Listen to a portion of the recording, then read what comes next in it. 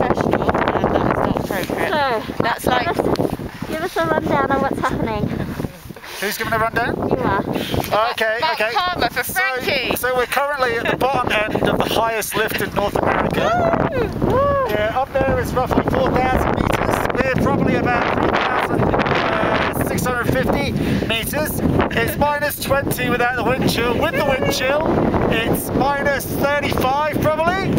It's really fucking cold. Um, we've been sat here for about probably 10 minutes, maybe 15. Um, there's been a miscatch at the chop chairlift, so the thing's shut down, and this nice gentleman here uh, he's just about to basically lower us all down using their own body weight. It's going to be fun. Yeah, but you're really heavy. He's got to weigh half your size. That's not good.